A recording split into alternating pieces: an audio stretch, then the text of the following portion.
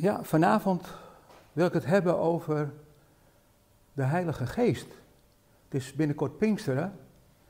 En er is zoveel verwarring over. En uh, alle scheuringen in het evangelische en in het, uh, nou ja, in, het, in het christendom eigenlijk, van het begin af aan is het al geweest. Heel veel oneenigheid en zo.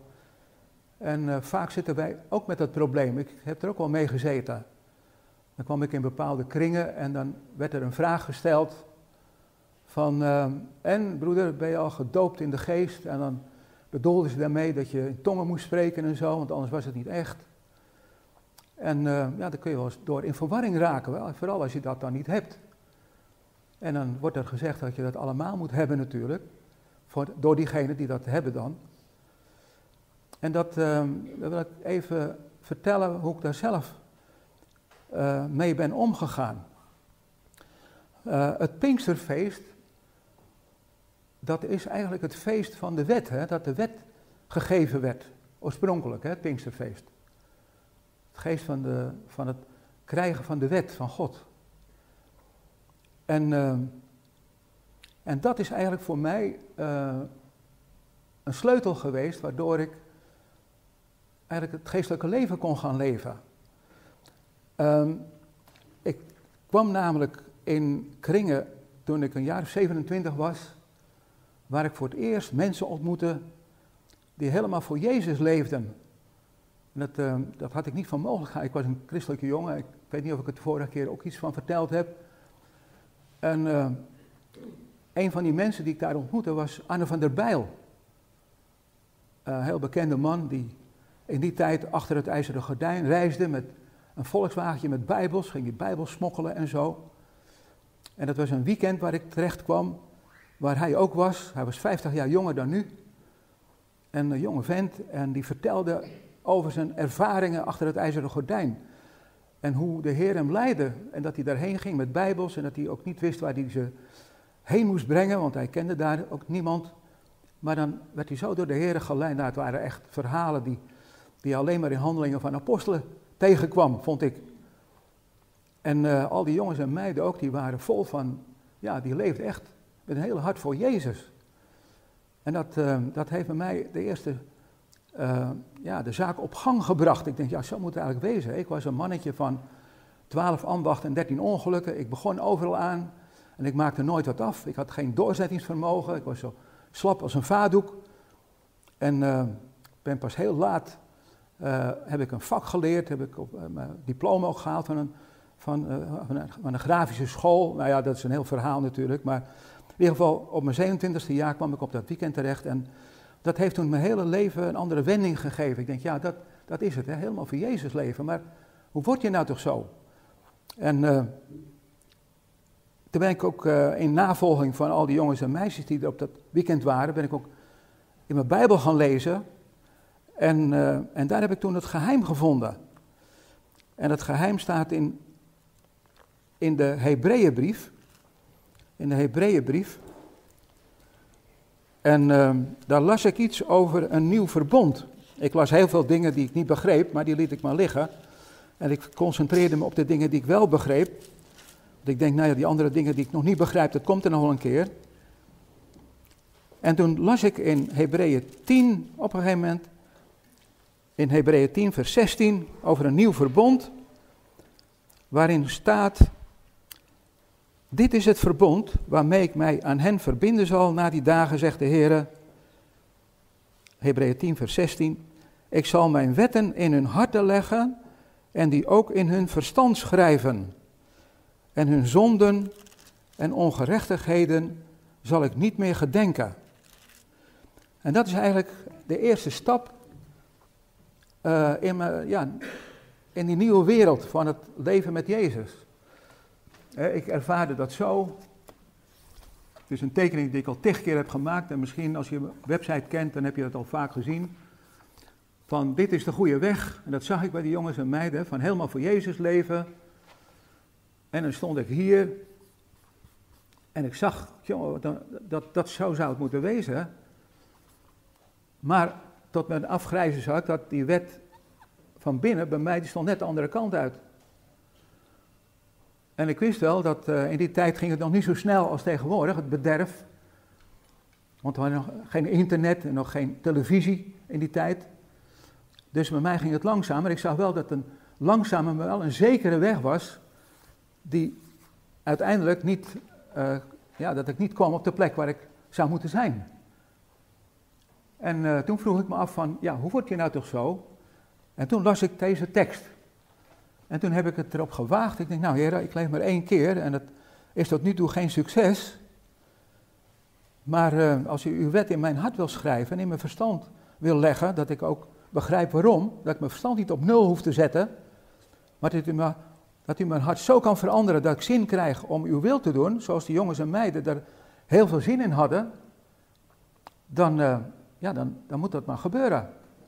En dan heb ik echt met mijn hele hart heb ik erom gevraagd of dat bij mij mocht gebeuren. En dat is nu meer dan 15 jaar geleden. En tot op de dag van vandaag is het dus zo geworden. En ik zal even die, die wet in mijn hart. Zo. En ook in mijn verstand. En, uh, en dat is voor mij een, een hele grote realiteit geworden. Dat daar maak ik dagelijks gebruik van. Dat God zijn wetten in mijn hart moet leggen en in mijn verstand moet schrijven. Daar kan ik heel veel dingen over vertellen. Maar dit is de eerste aanzet van mijn geestelijke leven. En uh, de komst van de wet, het Pinksteren, dat loopt parallel met de komst van de wet in je hart. Dus het Nieuwe Testament, het Nieuwe Verbond, het ontvangen van Gods geest, dat heeft dit ten gevolge. Dus dat zijn wet in je hart geschreven wordt en in je verstand gelegd wordt, zodat je met, ja, met je hele hart God kan gaan dienen. Niet dat het een makkelijke weg is, het is vaak niet makkelijk, maar je wil niks liever meer. Um, vanmorgen las ik in, uh, in Ezekiel dat verbond van dat uh, nieuwe verbond en, en, uh, en de Heilige Geest. Dat staat in Ezekiel, 7, Ezekiel 36, vers 25. Ik zal rein water over u sprengen en gij zult rein worden. Wat zei je? Even wachten, even wachten. Mevrouw die uh, trekt aan mijn jas als ik, als ik op hol sla. Dan mogen jullie ook doen overigens hoor. Dus Ezekiel 36, vers 25. Ik zal rein water over u sprengen en gij zult rein worden van al uw ongerechtigheden. En van al uw afgoden zal ik u reinigen. Een nieuw hart zal ik u geven. En een nieuwe geest in uw binnenste. Het hart van steen zal ik uit uw lichaam verwijderen. En ik zal u een hart van vlees geven. Mijn geest zal ik in uw binnenste geven en maken en dat is dus het gevolg van die geest die in je binnenste komt. En maken dat gij naar mijn inzettingen wandelt en naastig mijn verordeningen onderhoudt. Dus dat je zijn weg zal gaan. Nou, dat is eigenlijk uh, de eerste, voor mij, de ervaring van het vervuld worden met Gods geest. En het had een heel praktische uitwerking, want sinds die tijd, dat ging heel geleidelijk hoor. Ik had het in het begin niet eens in de gaten dat God daarmee bezig was om die wet in mijn hart te leggen en in mijn verstand te schrijven. Maar na verloop van tijd, toen werd me, ging mijn ogen daarvoor over. Joh, het is te veel veranderd. ten eerste al dat ik een verlangen kreeg naar Gods woord. En uh, geen genoeg kon krijgen om, om erin te lezen ook. En een verlangen om alles uit mijn leven weg te doen wat in de weg stond met mijn, ja, om, om met God te leven. En, uh, nou ja, en dat is tot op de dag van vandaag doorgegaan. En elke keer als ik een opdracht denk te krijgen, van dat, dat ik moet, iets moet doen, en uh, mijn hart staat er niet achter, of mijn verstand staat me in de weg, dan, dan maak ik gebruik van dit verbond. Nou heer, u hebt een verbond met mij gesloten, als het echt van u is, ja, dan wilt u dan die wet in mijn hart leggen en in mijn verstand schrijven, zodat ik het echt met mijn hele hart kan doen, en ook met mijn verstand. En als dat dan niet gebeurt, ja, dan, en je doet het dan toch, dan, ja, dan ben je toch niet goed bezig. Dan ben je krampachtig bezig. Maar het is een enorme bevrijding dat je dus, dus dat je niks hoeft te doen tegen je zin in. En, uh, en als, als het dingen zijn die moeilijk zijn, dan merk je toch dat je alles krijgt om het te doen. Ik, uh, je kan het ook op een andere manier tekenen.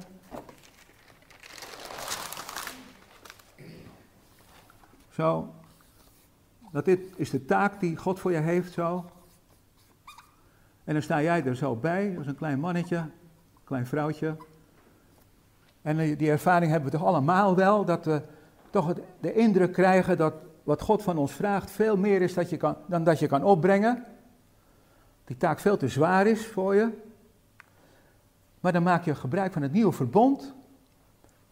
En dan wordt zijn last wordt licht en zijn juk wordt zacht. En dan is het net alsof er een ballonnetje aan zit, zo. Dat ballonnetje is onzichtbaar voor iedereen. Maar door dat nieuwe verbond wordt die taak, nou, wat, net wat Jezus zegt, mijn last is licht en mijn juk is zacht.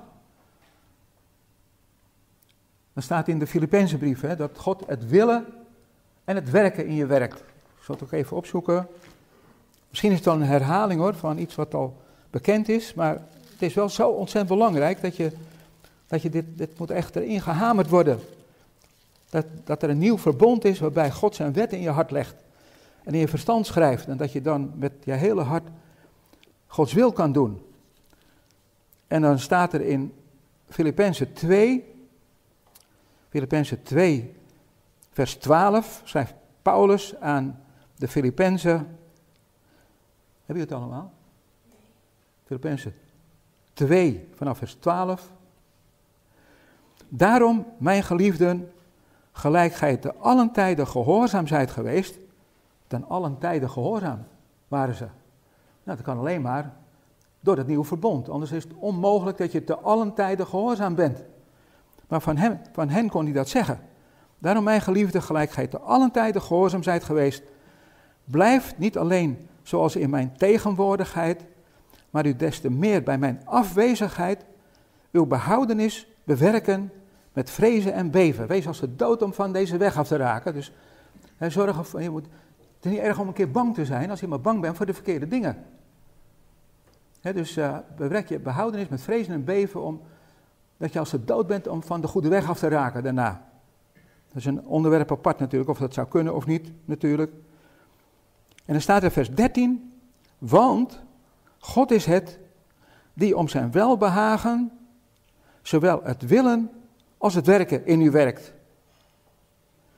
En er staat er ook nog bij dat je alles moet doen zonder morren en bedenkingen. Want de duivel die vindt het vreselijk als je zo bezig bent. Dus die zet er nog twee rotzakken bij, als het even kan. Zo. Een zak met morren en een zak met bedenkingen. En er zitten geen ballonnetjes aan. Dus als je dus een taak krijgt en je gaat dan mopperen en bedenkingen maken, in plaats van je zegt, Heer, wilt u uw wet in mijn hart leggen en in mijn verstand schrijven, ja, dan, dan werkt het niet meer. dus daarom zegt Paulus hier van doe alles zonder morren en bedenkingen. Nou, dat, is een, dat kun je heel vaak toepassen. Want dat doen we maar heel, heel gauw, hè? En. En je kinderen ook, hè? Als ze een keer moeten helpen met de afwassen. Nou, doen ze tegenwoordig niet meer. Je hebt allemaal afwasmachines natuurlijk. Maar als ze een keer moeten helpen met afdrogen of met opruimen van de rommel. En ze gaan dan mopperen en bedenkingen maken. En dat, dat zit er zo in. Ja, dan wordt, wordt het zo zwaar. Terwijl als ze het doen zonder morren en bedenkingen, dan is het een fluitje van een cent. Het opruimen van, van Lego of zo. Nou, dat, dat, dat, dat ja. Maar elk Lego-stukje, als je gaat mopperen en bedenkingen maken als kind. en je moet opruimen, dan weegt elk Lego-stukje wel een kilo dus het is vreselijk belangrijk om dit principe toe te passen. dus als je uh, ja, vervuld wil zijn met de Heilige Geest en je wil Gods wet wil doen met je hele hart en met je hele verstand, dan moet je uitkijken voor die twee rotzakken. Morren en bedenken, doe alles zonder morren en bedenken. Je eens kijken wat er dan als belofte bij staat.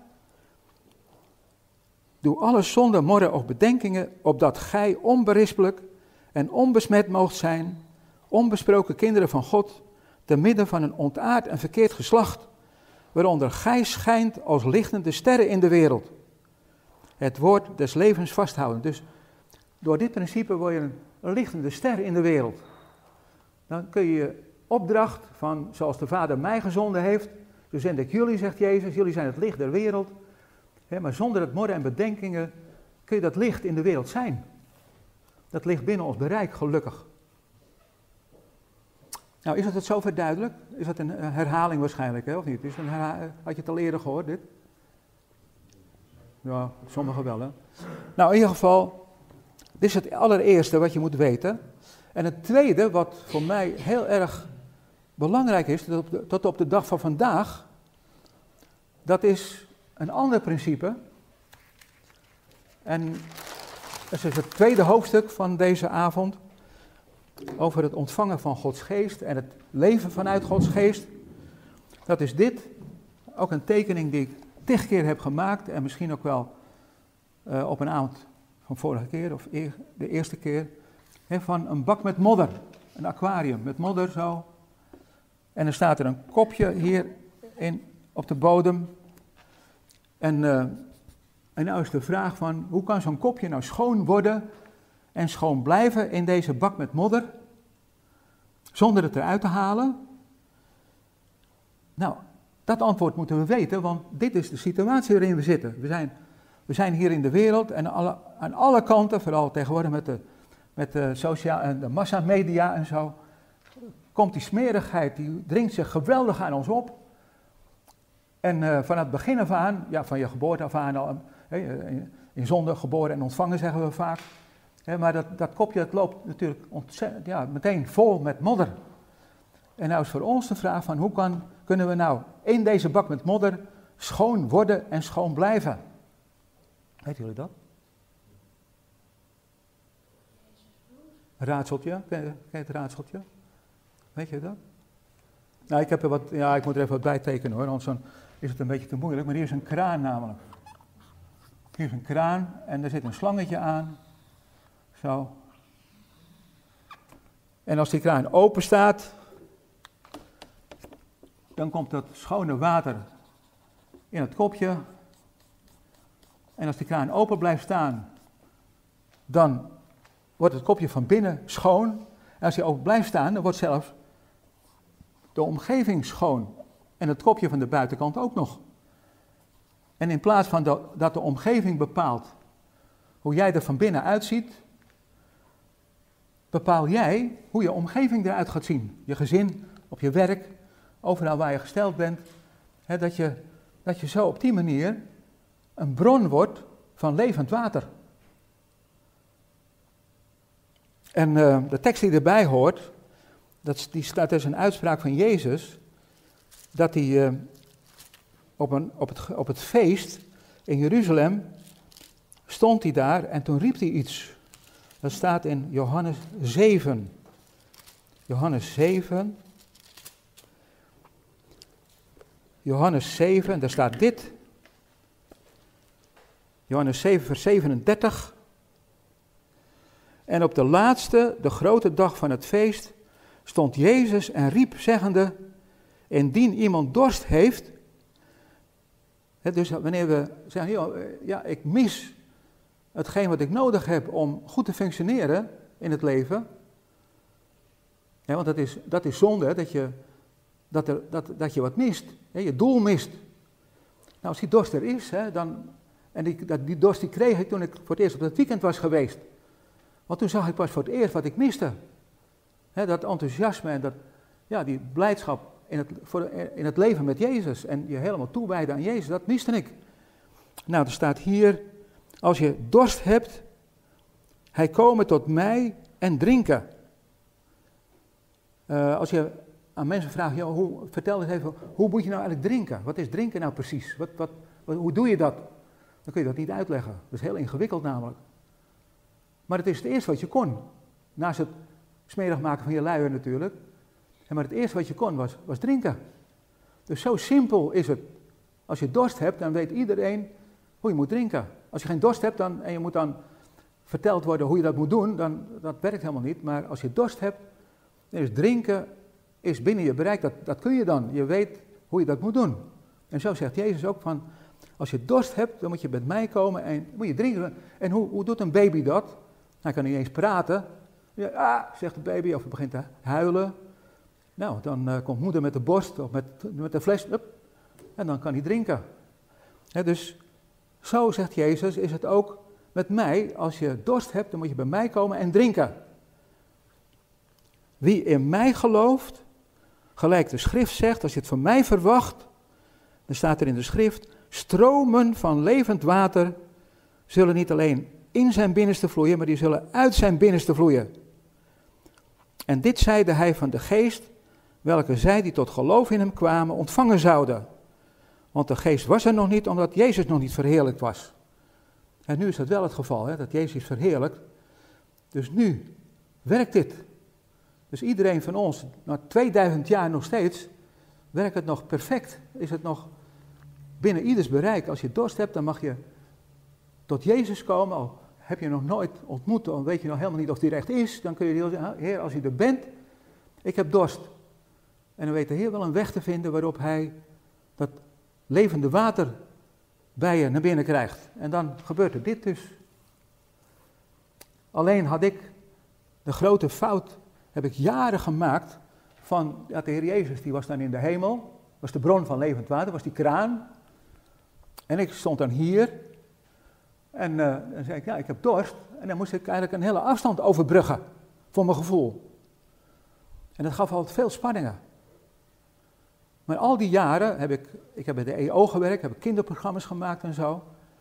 En ja, dan had je dorst bij het leven, hè, om, ik moest toch datgene ontvangen wat ik die kinderen voor kon zetten.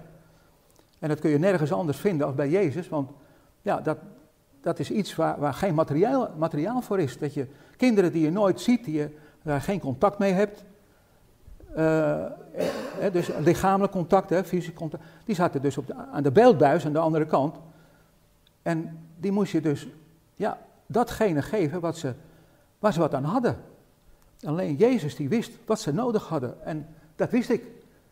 Dus elke maandag als ik weer een tekst moest schrijven, dan had ik dorst bij het leven. Heer, ik heb dorst. En ik zat, vooral als ik dan s morgens vroeg wakker werd, lag ik daar rillen in bed van, heer, ja, wat, wat, moet het worden? En dan hoopte ik maar dat het op tijd uh, bij me binnenkwam. En het is, tot Gods eer kan ik zeggen, dat, het, dat ik nooit teleurgesteld ben geworden. Ook niet als ik moest spreken ergens, op een gegeven moment kreeg ik ook die kansen. En elke keer had ik dit, deze spanning weer van, heb ik het wel? En soms gebeurde het dat, het, ja, dat ik op de voorste rij zat en ik moest spreken. En onder het zingen, dat ik nog zat van, heren, wat moet het worden? Ik had wel dingen uh, me voorbereid, maar ik denk, is het er wel? En soms als ik dan achter het, ja, op de preekstoel stond of op de plek waar ik sprak, dan kwam het. En nogmaals, het is eigenlijk nooit echt, ben ik erin teleurgesteld, maar dat gaf wel veel spanningen. Tot op een, op een moment dat we ook programma's gingen maken, kinderprogramma's, uh, in een school, in een klas in Rotterdam, in een christelijke school. En uh, toen hadden we net zo'n, voor het eerst zo'n digitaal cameraatje, zoals mijn vrouw er een heeft. En daar kun je goede filmpjes mee maken. En uh, die kun je dan zonder kwaliteitsverlies kun je die monteren. Dat was voor het eerst wat er was. En toen twee collegaatjes van me, twee jonge dames, die maakten dan filmpjes in, de, in groep 8 van een school in Rotterdam. Met allemaal allochtone kinderen op die school. 80% praktisch. 70 of 80% allochtone kinderen. Nou, in ieder geval, ik ga het niet helemaal vertellen, want dat heb ik al eens een keer op, op een, andere, in een andere toespraak verteld, allemaal hoe dat dan ging. Maar toen gingen we ook, dit principe gingen we in die klas behandelen. Want dan gingen we iedere keer een, een principe uit, uit, de leer, uit de leer van Jezus gingen we behandelen in die klas. Met die Hindoestanen en met die moslims ook. En dan gingen we het uitproberen van hoe dat dan werkte als je er toe ging passen. Nou, dus dit, ging ook, dit moesten we ook gaan proberen. En toen had de meester die had een, een, had een, een heel ding gemaakt waarin je dat heel duidelijk kon zien, hoe dat werkte. Aquarium met bekertjes erin en smerig water en zo.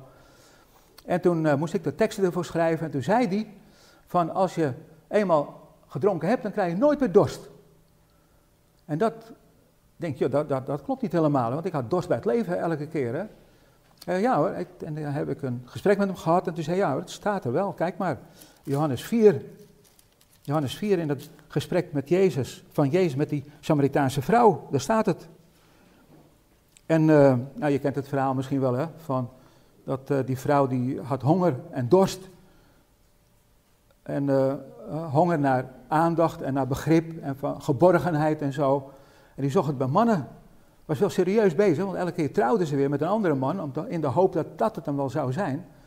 Maar had er vijf gehad en nou was ze bezig met, nou had ze de moed, op, moed opgegeven, dus ze hokte samen met de zesde. Weet niet hoe, dat, hoe, dat, hoe die verhouding was verder. Maar Jezus die zag dat en die zei tegen je, als je, en dan zei hij dit, vers 13 van hoofdstuk 4.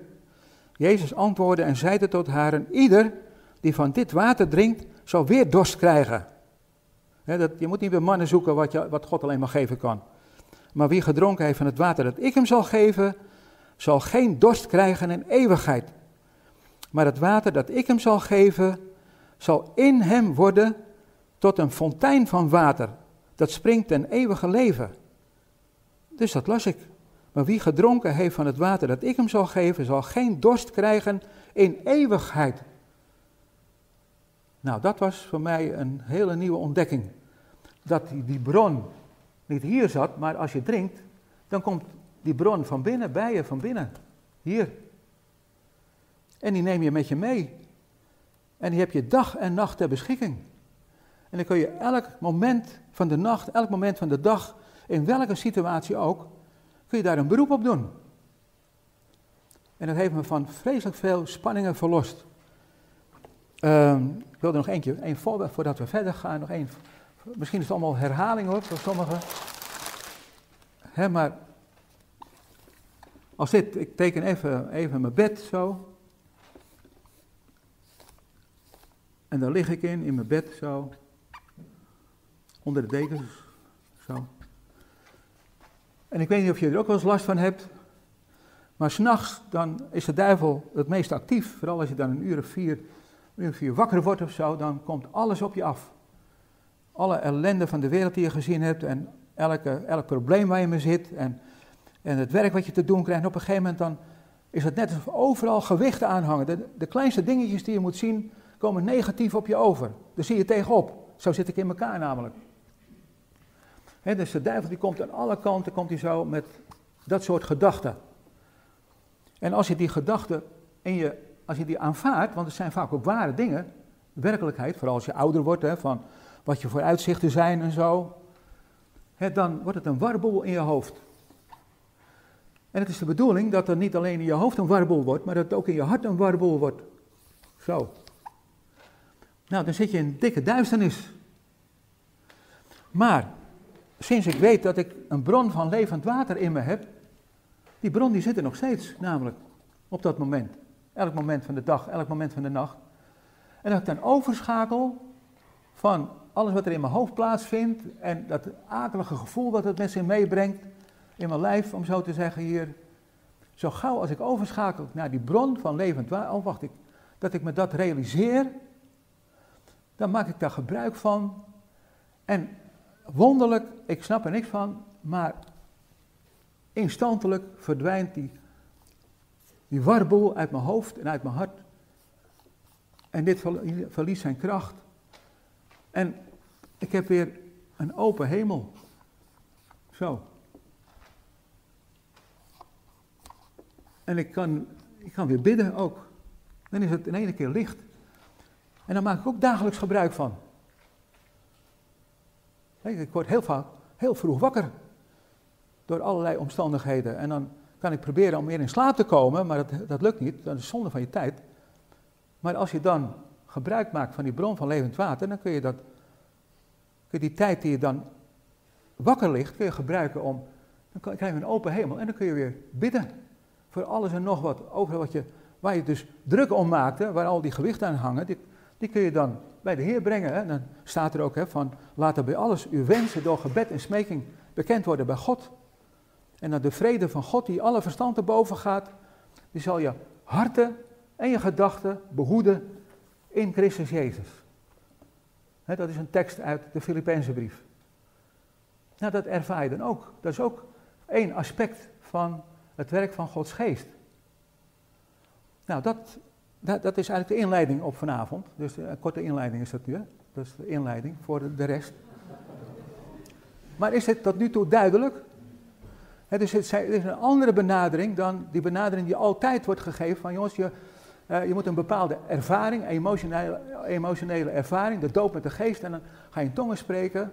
Jongens, ik spreek helemaal niet in tongen. Dat is niet voor iedereen weggelegd, denk ik dan. Maar dit, dat kan ik elke dag en elke nacht maak ik daar gebruik van. Al 50 jaar lang. En dan sta ik hier. Dan zou ik het niet, niet aandurven. En elke keer merk ik weer dat het werkt ook nu. Vanavond ook weer. Dat je niet alles op een rijtje hebt, maar dat je weet van, nou, op het moment dat ik hier sta, dan vertrouw ik niet op mezelf, op mijn welsprekendheid of zo, of op dingen die ik al ja, tig keer heb gezegd. Hè, daar kun je op vertrouwen, maar je wilt toch graag dat het niet alleen maar woorden zijn, maar dat, ja, dat, het, dat het leven wekt bij anderen. En dat kan alleen maar, dat kan ik niet, maar dat kan de Heer wel. En dan wil hij mij en jullie voor gebruiken. En dan zijn, is dit, dat zijn een paar principes die je dus kunt toepassen. Dus dat is, uh, nou, nou wil ik iets uh, doorgeven wat, wat ik recentelijk heb ontdekt of opnieuw heb ontdekt of wat me duidelijk is geworden of duidelijker geworden. En dat is de laatste toespraak van Jezus voordat hij naar Gethsemane ging en gekruisigd werd. Een heel belangrijk stuk in de Bijbel is dat en dat is Johannes 14, 15, 16 en 17. Dus de gesprekken bij het avondmaal en het hoge priestelijke gebed. En daar willen we vanavond eens naar kijken van hoe Jezus dat zelf beleefde. Want hij had natuurlijk ook op zijn dertigste jaar kreeg hij een ervaring die hij daarvoor niet had. toen de Heer Jezus op aarde was,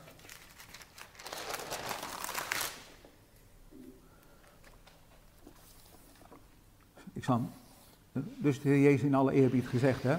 symbool voor Jezus. toen was hij zoon des mensen. Hij zat net zo in elkaar als wij. En hoe zitten we in elkaar?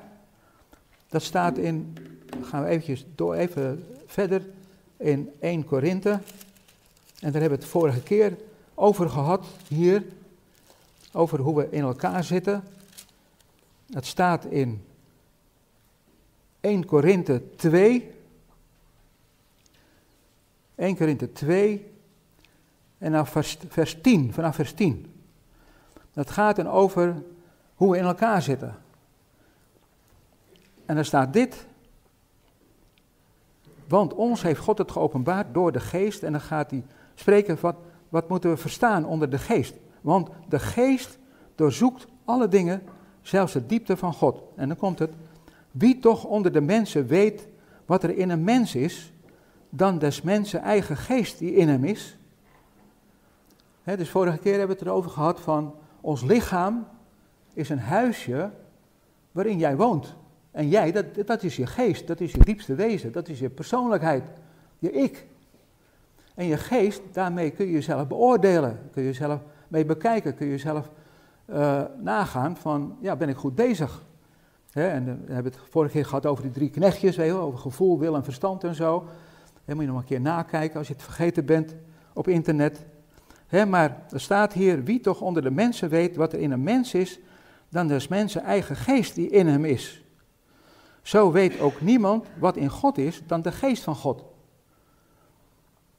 dus uh, de geest, dat is altijd het diepste wezen van, ja, van God of van ons. Dus dit is van Jezus, dat is zijn geest. Ja, dat is zijn diepste wezen. En zo zit ik ook in elkaar. Dus als ik mezelf daarnaast zou tekenen, zo. Nou, dus is bij mij precies hetzelfde. Mijn geest zit in mijn lichaam. En waar ik ben, daar is mijn geest. En toen Jezus op aarde was, voordat hij, voor zijn dertigste jaar, was hij, leefde hij zo. En omdat hij zonder zonde was, hè, want er staat ook dat Gods geest is niet aan plaats en tijd gebonden. Hè, net als hebben we de vorige keer ook het voorbeeld genomen hè, van de zon. Hè, als de, uh, even kijken hoor, even een paar dingetjes helder krijgen voordat we verder gaan. dus als we aan zee zitten, aan het strand, zo zitten we in zo'n, moeilijke stoel, weet je wel, een geheim wapen is dat, zo'n stoel, hoe je dat in elkaar zet, zo. zit je zo. En dan zit je aan het strand en dan zit je in de zon. Of niet? Je zit dan in het zonnetje, als de zon schijnt tenminste. Hè? Maar het gekke is dat de zon, er staat hier natuurlijk, hè? heel ver weg. En toch zit je in de zon. Nou, de zon is natuurlijk wat anders dan de zonneschijn, maar als je in de zon zit, zo, is dat, ja, de zonneschijn is eigenlijk alles wat de zon ook is, hè? licht en warmte en energie. Hè? Dus de geest van de zon, zou je kunnen zeggen, de zonneschijn, geest van de zon, dat is de zonneschijn. En het vertegenwoordigt alles wat de zon is. Dus als je in de zon zit, dan heb je deel aan alles wat de zon is. Licht, warmte en energie. Nou, en zo is, zegt Paulus ook van, God is niet ver van ieder van ons, want in hem leven wij, bewegen wij ons en zijn wij. In Handelingen 17 staat dat. dus God is in de hemel, maar hij is ook overal, door zijn geest. En normaal is het zo, dat hebben we vorige keer zo getekend. Nee, ik weet niet of vorige keer zo getekend, maar. Even kijken hoor. Als sla ik te veel over, zo. Als dit de wereldbevolking is.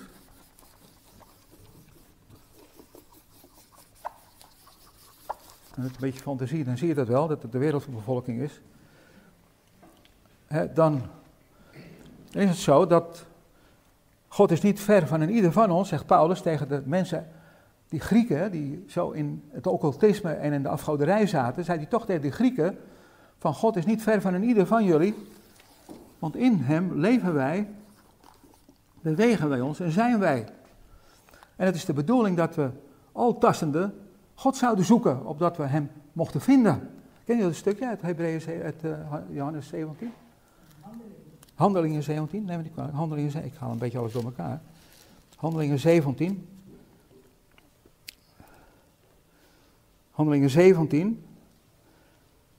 En dan staat hij uh, dat, dat, dat hij heeft uit één enkele, het hele menselijke, vers 26, Handelingen 17, vers 26, heeft uit één enkele het hele menselijke geslacht gemaakt om op de ganse oppervlakte der aarde te wonen en heeft de hen toegemeten grenzen, tijden en grenzen van een woonplaatsen bepaald, opdat ze God zouden zoeken. Dat is namelijk de enige reden dat de wereld nog bestaat, dat, ze God, dat we God zouden zoeken. Of ze hem al tastende vinden mochten, hoewel hij niet ver is van een ieder van ons. Want in hem leven wij, bewegen wij ons en zijn wij. dus ja, God is voor iedereen binnen bereik. Alleen, we zitten potdicht voor God. Hè. We hebben geen interesse. Dus, net of de wolken zitten er tussen God en ons in. En dat is zonde. Er zit een, zit een scheiding tussen God en ons. Maar Paulus zegt, als je hem zoekt, dan zul je hem vinden. Maar we, ja, we, onze zonde is dat we ons afsluiten daarvoor. Nou, dus nu gaan we terug naar de Heer Jezus toen hij op aarde was. Dat, omdat hij zonder zonde was, had hij een open hemel. Ervaarde hij dat en kon hij zo met zijn vader kon hij communiceren. En daarom was die, zei hij op zijn twaalfde jaar al, van moet ik niet zijn en uh, de dingen van, zocht hij de dingen van zijn vader. Hij ervaarde God ook als, als zijn vader. Maar toen hij gedoopt werd door Johannes, toen gebeurde er iets wat hij daarvoor niet had. En toen ontving hij Gods geest. De geest van God in wie hij was die kwam toen in hem. dus als een duif eh, ontving hij de geest. Kwam de geest die daalde neer. En toen ontving hij de Heilige Geest. En dan moet je kijken wat er dan staat, hoe Jezus dat beleefde. Dat staat in Johannes 14. Gaan we eindelijk toch naar Johannes 14 toe. Johannes 14.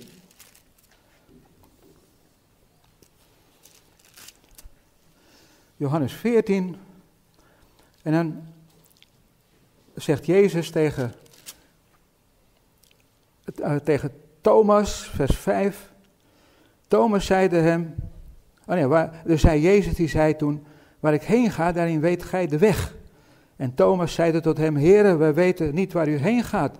Hoe weten we dan de weg?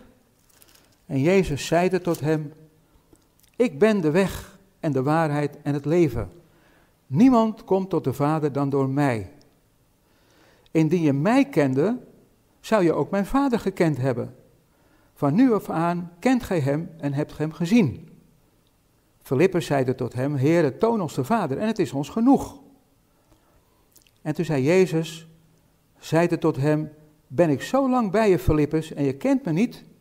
Wie mij heeft gezien, heeft de Vader gezien. Hoe zeg je dan, toon ons de Vader? Geloof je niet dat ik in de Vader ben en de Vader in mij is? De woorden die ik tot u spreek, zeg ik uit mezelf niet, maar de Vader die in mij blijft, doet zijn werken. Geloof mij dat ik in de Vader ben en de Vader in mij is. Of anders, geloof om de werken zelf. dus Jezus die ontving de Heilige Geest en dat was de geest van zijn Vader. Dat was, hebben we net gelezen in Handelingen, of in 1 eh, Korinthe, van wie weet wat in God is dan de geest van God. dus, en, en ja, mijn geest is niet een andere persoon dan ikzelf. En Gods geest is niet een andere persoon dan God zelf. De Heilige Geest is altijd de geest van God. Dus toen de Heilige Geest bij Jezus woning maakte, toen ervaarde hij van mijn vader die woont in mij nu. En mijn vader die doet zijn werken. dus alles wat hij deed, ja, dat was een bewijs van die geweldige dingen, dat zijn vader in hem woonde.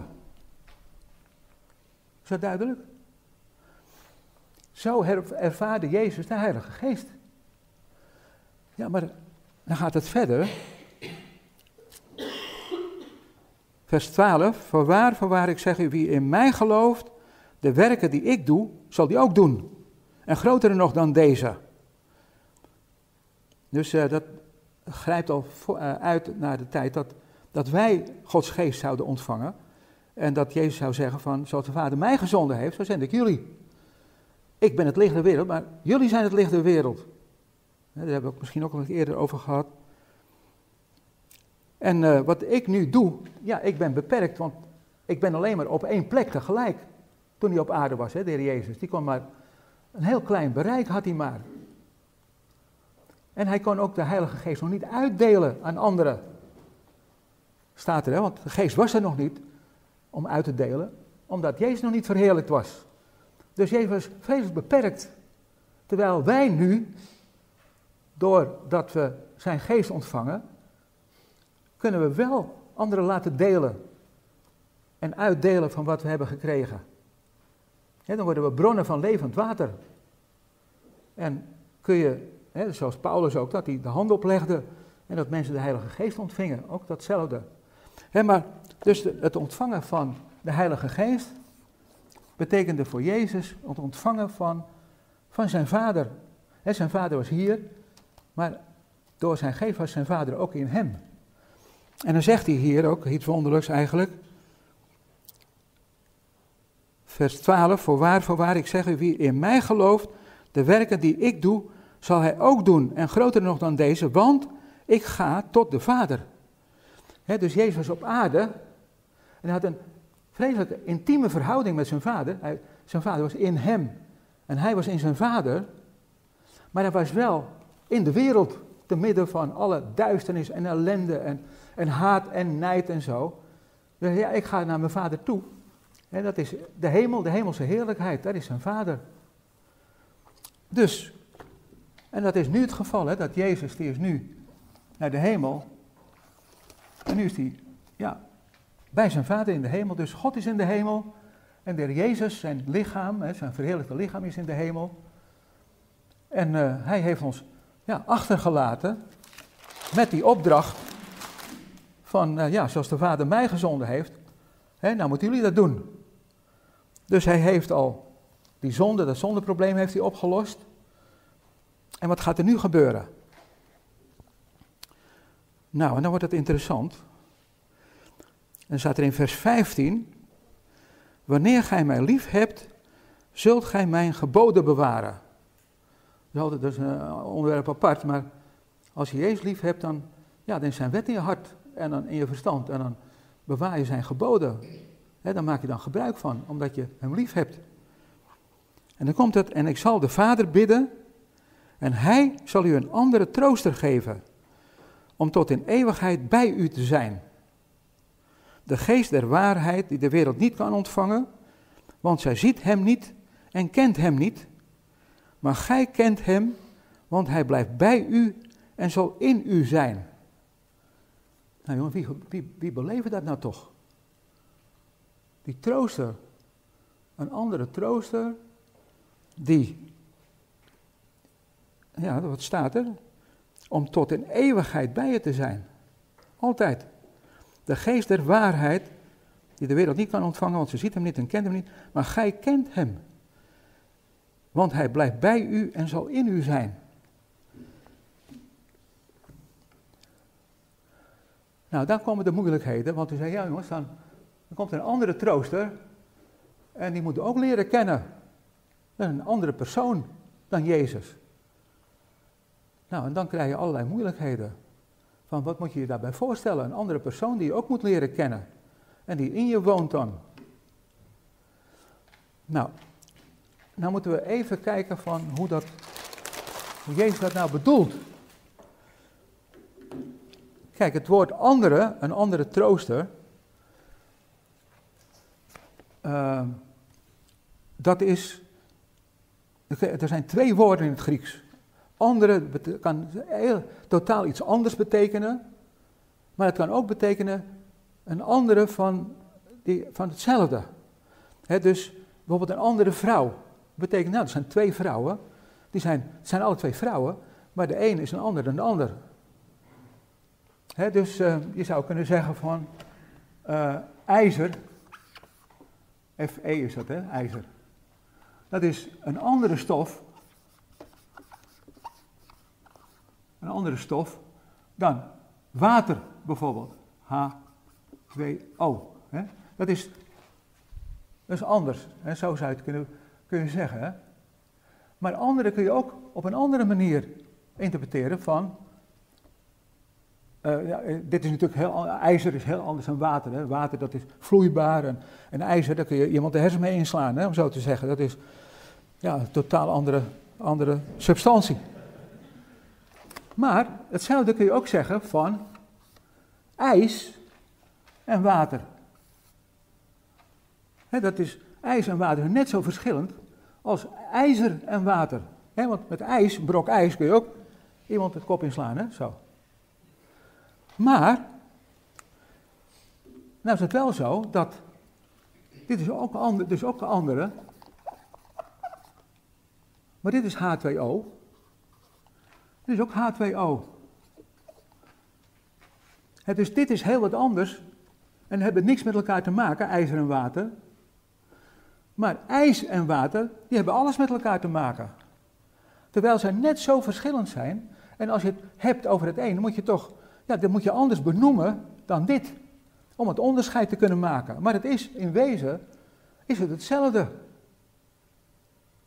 Is dat duidelijk? Wat zeg je? IJs? Ja, oh, ijs. Nou, dit is ijzer. Als je geen, geen scheikunde kent, hè. Fe is ijzer. Dit is water, zo. En dit is water. Nee, dit is ijs bedoel ik. Dat hoor ik zelf. IJs en water, zo. Het dus uh, ijs is een andere stof, of een andere, ja, is anders dan water. Nou, en zo bedoelt de Heer Jezus nou die andere trooster.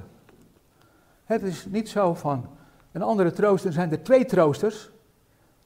Nee, een andere trooster betekent van de ene trooster is een, ja, een andere verschijningsvorm dan die trooster die in zijn plaats komt. En het water, dat is eigenlijk letterlijk zo, dat Jezus zegt van, hoe ontvang je die trooster?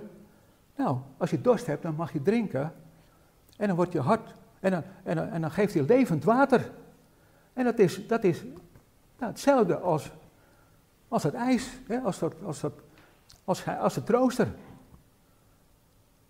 Hè, dus, dus de Heer Jezus, die is uh, in de hemel, hè, maar zijn geest, hè, dat is het levende water, dat is een andere trooster. We krijgen dus een andere trooster, een andere vorm, een andere verschijningsvorm van Jezus. Dus Jezus, de andere trooster, dat is, dat is Hij, maar in een andere verschijningsvorm. En eh, is dat waar, wat ik nou zeg? Nou, moet je kijken wat Jezus ervan zegt, hè? Dan weet je het. Vers 18. Ik zal u niet als wezen achterlaten. Wat zegt hij dan? Ik kom tot u. Nog een korte tijd en de wereld ziet mij niet meer, maar gij ziet mij, want ik leef en gij zult leven. En dan moet je eens kijken, vers 20. Ten dien dagen zul je weten dat ik in, dat ik in mijn vader ben en gij in mij en ik in u. Dus heeft hij het duidelijk van, ja, hij is in de hemel, maar hij is op aarde, is hij is die als het levende water. En die bron van levend water die ik in me heb en die jullie in je mag, mag, mogen hebben, dat is die andere trooster. Een andere verschijningsvorm van Jezus. Dat is niet uh, een, een, een, stofje of zo, of een, on, onpersoonlijke kracht. Nee, dat is Hij zelf. En dat ben ik, pas later ben ik dat, me dat gaan realiseren, van als ik gebruik maak van die bron, van, dat is Hij. En dan, staat er ook van, de wereld kent hem niet, maar jij kent hem en hij blijft bij je en zal in u zijn. Nou, dat vind ik geweldig dat, dat de Heer Jezus in mij is. Dat is zijn geest, dat is hij zelf. Ja. Is, is het niet zo dat uh, de geest ook een afzonderlijke persoon is? Nou, het blijkt uit, uit, uit dit blijkt van niet. Dat blijkt een afzonderlijk, kijk dan zou het dit wezen. maar het is, het, het is een, een, andere trooster, maar dat, wordt, dat is wel de leer in het algemeen. Ja, de drie eenigheid. Ja, ja. Maar de drie, kijk, de, de, uh, de heilige, je zou het zo kunnen zeggen, het is de Vader in de hemel en de Zoon in de hemel en de geest van beiden hier op aarde. De Heilige Geest is de aanwezigheid van God, de Vader, en van zijn zoon hier op aarde.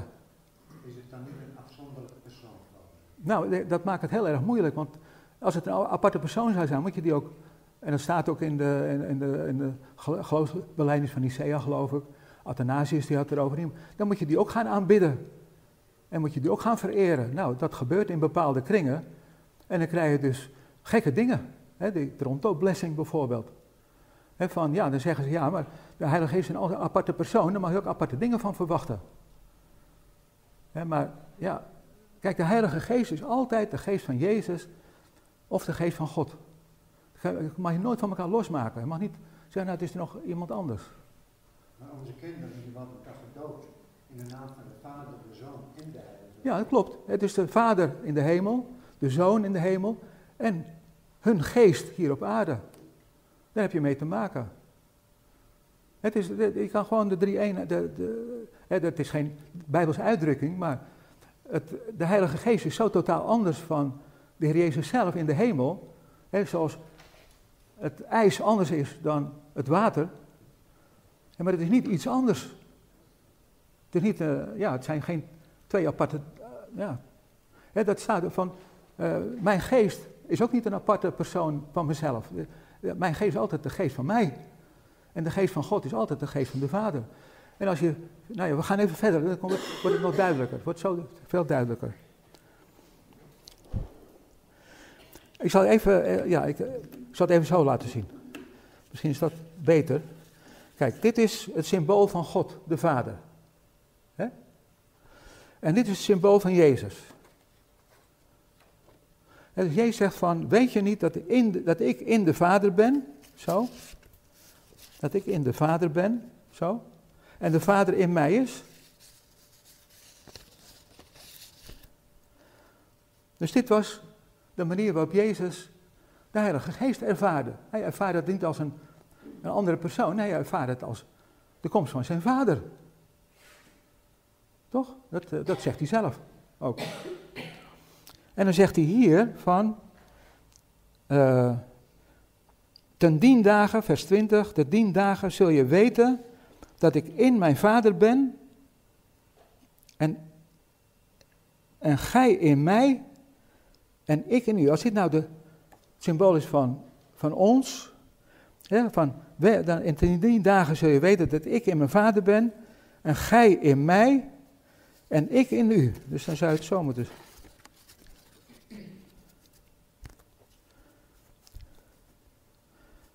Kijk, dan zou je dus, dan is dit de manier waarop, waarop we één mogen zijn met Jezus, dat zegt hij zelf dus. Hè?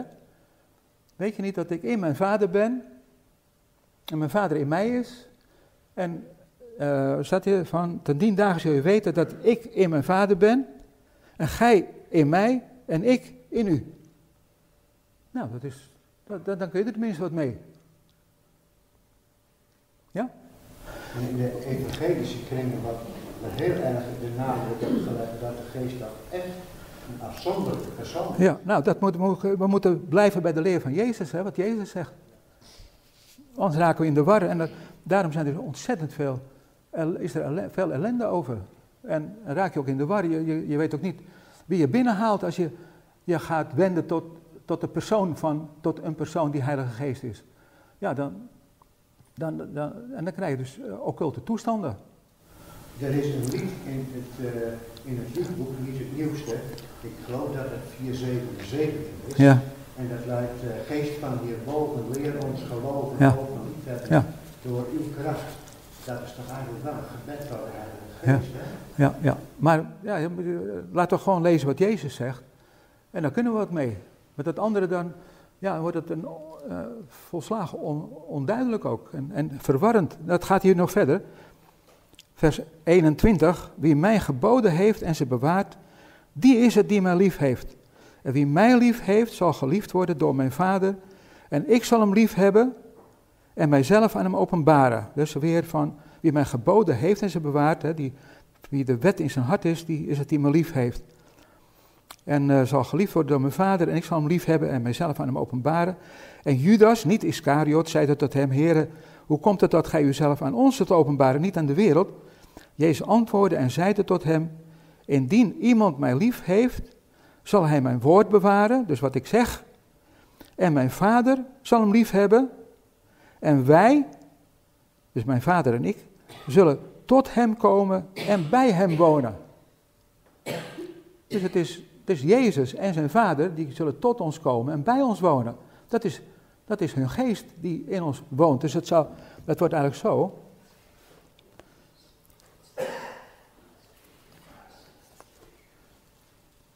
Nou, dit is eigenlijk wat Jezus hier zegt. Dat is heel moeilijk.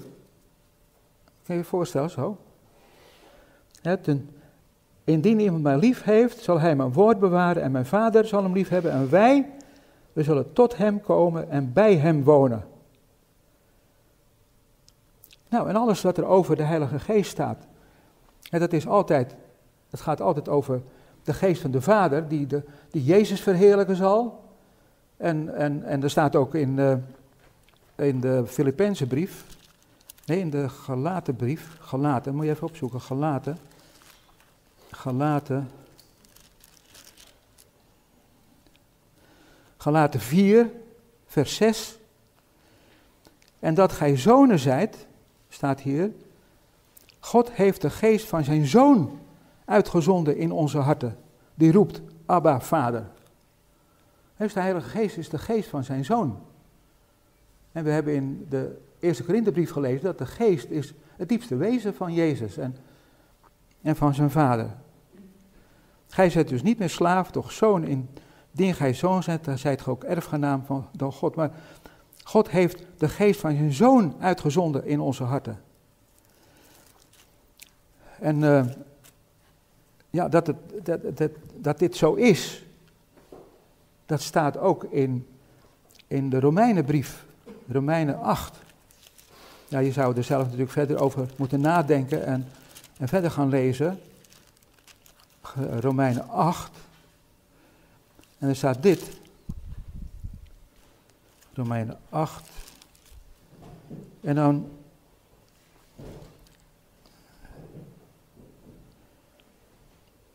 Er staat in, vanaf vers 6, hè? Want de gezindheid van het vlees is de dood. Maar de gezindheid van de geest is leven en vrede. Daar hebben we het de vorige keer over gehad. Hè? Van, dat die knechtjes echt knechtjes moeten zijn en geen baasje. Gevoel, wil en verstand en zo. Daarom dat de gezindheid van het vlees vijandschap is tegen God. Want het onderwerpt zich niet aan de wet van God. Trouwens, het kan het ook niet. Zij die in het vlees zijn, kunnen God niet behagen. En dan komt het, gij daarentegen zijt niet in het vlees, maar in de geest. Althans, indien de geest van God in u woont.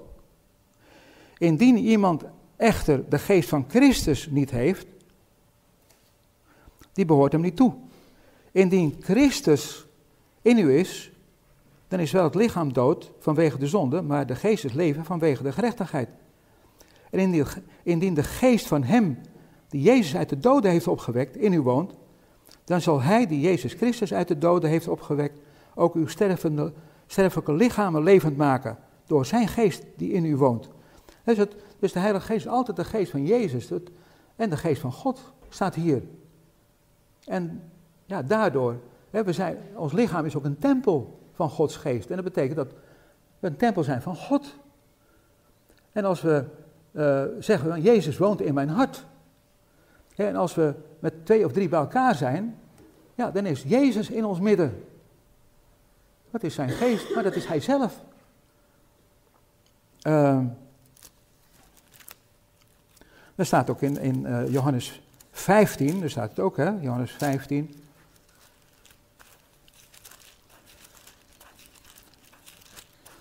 Van de ware wijnstok. Uh, vers 5. Ik ben de wijnstok en gij zijt de ranken. Wie in mij blijft, gelijk ik in hem, hè, dat gaat dus over Jezus in ons die draagt veel vrucht, want zonder mij kun je niks doen. Wie in mij niet blijft, is buitengeworpen als de rank en is verdord. En men verzamelt ze en werpt ze in het vuur en ze worden verbrand. Indien gij in mij blijft en mijn woorden in u blijven, vraag wat je me wilt en het zal je geworden. En er staat ook uh, in uh, hoofdstuk en vers 3 ook. Gij zijt nu rein om het woord dat ik tot u gesproken heb. Blijf in mij, gelijk ik in u dus het is veel simpeler dan wat we ervan gemaakt hebben. Uh, misschien moeten we doorgaan naar het hoge priestelijk gebed. En er staat dit. Uh, vers 3. Dit nu is het eeuwige leven dat ze u kennen, de enige waarachtige God en Jezus Christus die gij gezonden hebt. Het gaat over Jezus en over God zijn Vader en over hun geest. De geest van beiden. En dan staat er in uh, vers 18: Gelijk gij mij gezonden hebt in de wereld, heb ook ik hen gezonden in de wereld. En ik heilig mijzelf voor hen, opdat ook zij geheiligd mogen worden in waarheid. En ik bid niet alleen voor deze, maar ook voor hen die door hun woord in mij geloven, dat zijn wij. Opdat ze alle één zijn, gelijk gij, Vader, in mij en ik in u, dat ook zij in ons zijn. Daar staat het weer, hè, van dat, we, dat, dat Jezus die bidt, dat ze één zijn, gelijk gij, Vader, in mij en ik in u, dat ook zij in ons zijn. En zei, nou dat zal wel, uh, dat zal wel zijn als, we, als Jezus terugkomt. Nee, opdat de wereld geloven dat gij mij gezonden hebt. En de heerlijkheid die gij mij gegeven hebt, heb ik hun gegeven. Opdat ze één zijn, gelijk wij één zijn. Ik in hen en gij in mij, dat zij volmaakt zijn tot één. Opdat de wereld erkennen dat gij mij gezonden hebt en dat gij hen liefgehad hebt gelijk gij mij hebt liefgehad. Dus hier gaat het over een volmaakte eenheid. Want dat kan toch niet, hè? Dat we zo één zullen zijn als Jezus met zijn vader één is. En dat we in, ja, hier op aarde al in hen mogen zijn. He, dus... Uh, Mag ik iets vragen? Waar was je net aan het lezen? Wat zeg je? Waar was je net aan het lezen? We waren het even kwijt. Waar? In Johannes 17. Hoofdstuk 17. Ja, in het hoge priestelijke gebed, ja. Hoofdstuk 17. En dan staat hier, uh, in, dat staat in, in uh, vers 1, 21, opdat ze alle één zijn, gelijk gij, Vader, in mij en ik in u, dat ook zij in ons zijn. Opdat de wereld geloven dat gij mij gezonden hebt. En de heerlijkheid die gij mij gegeven hebt, heb ik hun gegeven, opdat ze één zijn, gelijk wij één zijn. Ik in hen, ik in hen dus, dus Jezus in ons, nu op aarde, en gij in mij, dat zij volmaakt zijn tot één, opdat de wereld erkennen dat gij mij gezonden hebt, en dat gij hen hebt lief gehad, gelijk gij mij hebt lief gehad. Nou, nou staat hier, gaat over een volmaakte eenheid, hè? Dan denk je, dat kan toch niet, hè, in deze wereld, dat we zo één worden met elkaar, zoals Jezus en zijn Vader één zijn. Uh, als wij aan eenheid denken, dan denken we aan allemaal hetzelfde. He, die hoogstgetuigen, die hebben het over eenheid. Jongens, als er één eenheid is, is het bij ons. En dat betekent dan dat ze allemaal hetzelfde denken, het allemaal hetzelfde doen, allemaal dezelfde tijdschriften lezen, allemaal hetzelfde geloven. Ja, helemaal. En als je even afwijkt van die eenheid, dan, dan, ja, dan val je er buiten en dan word je, word je eruit gezet. dus je raakt je individuele vrijheid ook kwijt. Maar dat is, ja, dat, die eenheid, daar is de wereld niet van onder de indruk, want dat kent de wereld ook wel. Hè? Eén, eh, allemaal in, uh, ja, in een voetbalteam kun je ook één zijn. allemaal hetzelfde doel. dan is het helemaal geen kunst om één te zijn. In een bedrijf kun je ook één zijn, met hetzelfde doel en zo. Kun je, maar de, wat, wat Jezus bedoelt is een soort eenheid, een heel andere soort eenheid. Zoals in een lichaam. Hè, dat wordt vergeleken met een lichaam. Hè. Dus uh, in een lichaam is, ja, alle leden zijn totaal anders. En toch is een grote eenheid. De oog is een heel ander orgaan dan een hand. En nou ja, we kennen dat wel, hè, de hand en de voet en zo. En iedereen heeft zijn eigen taak. En alles onder één hoofd. En dan functioneert dat 100% goed. Nou, dat is een eenheid die Jezus bedoelt. Van dat we allemaal zo ontzettend verschillend zijn. En dat we toch een eenheid zijn omdat we onder hetzelfde hoofd leven. En daar wordt de wereld, dat, dat is heel indrukwekkend namelijk, dat je in een gemeente, als een goede gemeente is, dan, dan heeft iedereen daar een plek. Iemand die stom is, dom, of, uh, en een intelligent iemand, en een oud iemand, en een jong iemand, en, en nou ja, met allemaal verschillende uh, mogelijkheden en zo, zo totaal verschillend. En naar de mens gesproken hangt het als loszand aan elkaar. Maar omdat ze allemaal onder één hoofd functioneren, is het een grote eenheid onder elkaar. En voelt iedereen zich thuis. We hadden vaak kampen van uh, ichters. En uh, waren we kampouders. En dan uh, kwamen er ook wel buitenstaanders bij, van die, die ja, ongelovige studenten. Die werden meegenomen. En dan zeiden ze van, ja, wat hier aan de hand is, ja, ik voelde me hier meteen thuis. Ik voelde me ja, geaccepteerd door iedereen. En dan waren ze van onder de indruk van dat, en jullie zijn allemaal zo verschillend.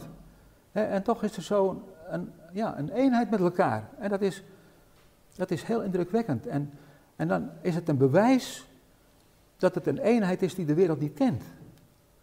Ik heb bij de EO gewerkt en daar was het zo dat uh, die eenheid was vaak vet zoeken. Hè, de reformatorische en de vergadering van gelovigen en de pinkstermensen en nou ja, wat allemaal door elkaar. In het begin hebben we vreselijk veel conflicten gehad ook. En, maar het is niet uit elkaar gespot omdat iedereen toch die bij de EO kwam, hè, die, die waren toch allemaal, waren allemaal, ja, allemaal onder één hoofd proberen we te leven. Maar ik vond het uh, maar niks eigenlijk hoor. Ik uh, denk, nou, daar mag wel wat aan veranderen nog. Maar wat gebeurt er nou? Uh, kregen we uitzendkrachten bij de EO. Hè. Die moesten dan bandjes uittikken en zo van teksten. En, en dan gebruikten we Vedior, dat is dan een uitzendbureau. En, en dan kwamen die meiden van VDO, die kwamen met lood in hun schoenen, kwamen naar de EO. Van, och de EO, met allemaal zwarte pakken en uitgestreken gezichten natuurlijk. En dan kwamen ze, waren ze een tijdje bij ons aan het werk en dan kwamen ze heel enthousiast terug bij de manager. En die manager was een heel apart vrouwtje. Dat was een, een dame die in die tijd al, is jaren geleden, had zo een kettingje van de neus naar de oor. En ze was beslagen met honden, nou ja, een honden, nou ja, en helemaal, helemaal metaal. ik heb een fotootje van haar hier als je dat wil zien. En, en, ze, en reed op een motorfiets. En ze zong in een of andere band en zo. Maar vreselijk intelligent en heel goed voor de werk. En die zag dat iedere keer. Al die meiden naar de EO. En dan kwamen ze met lood in de schoenen gingen ze erheen. En kwamen ze enthousiast terug. En, ze, en zo was ze. denk je, oh, daar is wat aan de hand. Hè. Ik, ik, die werd zo nieuwsgierig. Dat die, die zegde haar baan op. En die kwam een jaar als uitzendkracht bij de EO werken. Nou, en uh, toen was het jaar voorbij, want dan moet je even eruit, hè, voordat je weer terug mag komen als uitzendkracht. En het tweede jaar kwam ze weer. Nou, was vreselijk goed in de werk, want ze kon net zo snel uittikken als dat er gesproken werd. Dus was een hele goede voor de werk. Maar toen zei ze ook wat hier aan de hand is, heb ik nog nooit meegemaakt. Ten eerste, niemand heeft hier ooit een opmerking gemaakt over mijn kleding. Over waar ik kom, hebben ze commentaar. Maar hier, bij de EO was het, eerste bedrijf waar ik dat verwachtte. Er was helemaal niemand die daar wat van zei. En het tweede was, jullie zijn allemaal zo verschillend, hè. Want die, ja, die reformatorische dames die liepen er anders bij dan die uit de, de lichte hoek. Hè? Dus uh, nou ja, de, en allemaal verschillende opvattingen over roken en drinken en zo. Dus uh, ik vond het maar niks, die eenheid. Maar voor haar was het zo apart. Als jullie een keer een, een conflict hebben of meningsverschil, ja, dan, dan praat je er met elkaar over en je bidt en dan is het weer over. En in een andere bedrijf, als er een keer een conflict is, dan kan het kan het, nou ja, dan kan heel, zijn afdeling kan eh, helemaal naar de knoppen gaan door, door een conflict. Nou, ze is gelukkig, nee gelukkig, jammer genoeg niet tot bekering gekomen toen. Maar jaren later, toen is, uh, had, ze een, had ze een kindje, want ze had ook een, eh, een relatie, het had ze een kindje en dat was op sterven na dood. En toen is ze wakker geschrokken en toen heeft ze God aangeroepen. En nu werkt ze bij de EO al een paar jaar als, als uh, kracht bij de afdeling nazorg. Een geweldige geweldige meid met een prachtig getuigenis. Ik heb hier uh, een, een, visie waar ze op staat. Dit is haar. Maaike. En, en dit is er ook. En hier staat ze met, met het hondenbeslag. Je moet maar een beetje dichtbij kijken. Maar jongens, dat, dat, we hebben geen idee van, van, van wat, wat die eenheid, dat is een volmaakte eenheid, maar dat is een, ander soort eenheid dan de eenheid die de wereld kent. Maar, maar die soort eenheid, die volmaakte eenheid, die kent de wereld niet. En dat is het enige wat de mensen overtuigen zal dat wij iets hebben wat zij missen. En dan krijg je dus niet een schuldbesef in de eerste plaats, maar wel een zondebesef van we missen wat. Dan gaan de ogen voor open. Net zoals dat ik, mijn ogen open gingen op dat weekend, dat ik wat miste. Ik had geen schuldbesef, dat kreeg ik later pas, maar wel zondebesef. En dat is nodig. Dat we zorgen dat mensen zonder besef krijgen. En zonder besef is dat je doorkrijgt dat je het wezenlijke mist. En bij de ene uitzicht dat in doelloosheid of, of, uh, of onmacht of uh, uh, angst. Of nou ja, allerlei, op allerlei manieren kan dat zich openbaren. Bij die vrouw in de put, bij die Samaritaanse vrouw, was het honger en dorst naar geborgenheid. Nou, Jezus heeft niet gezegd, oh, ben je schuldig? Nee, hij zegt, hij legde de, de vinger op de plek van haar nood. En daar voorzag hij in. En de namen van Jezus die voorzien in al die, al die noden die mensen hebben. Bij de een dit, bij de ander dat. Hij heeft zoveel namen, Jezus. En die voorziet in al die noden. En er zijn natuurlijk ook die schuld beseffen, omdat ze vreselijke dingen hebben gedaan. Nou, dan is Jezus natuurlijk het lam van God dat de zonde de wereld wegneemt. Maar het hoeft niet altijd het eerste contact te zijn met mensen. maar zonder besef, dat is wel nodig om bij Jezus te komen. Nou, ik wou het hier even bij laten. Een hoop om na te denken, denk ik. maar kijk bijvoorbeeld allemaal, eh, als je nou wil weten van ja, de persoon van de Heilige Geest, is het nou een aparte persoon? Of zijn er twee personen en met, dus dat, dat, dat de twee personen in de hemel, dat die een derde, uh, ja, een, een, een andere verschijningsvorm hebben. De geest van, van Jezus en van God. Maar het is altijd, dat moet je altijd in de gaten houden van, de Heilige Geest is altijd de geest van God of de geest van Jezus. Het is nooit de geest van zichzelf of zo. Dan, krijg je dan kom je in de problemen. Blijkt in de, uit de kerkgeschiedenis al die jaren. Zullen we even stoppen? Ja.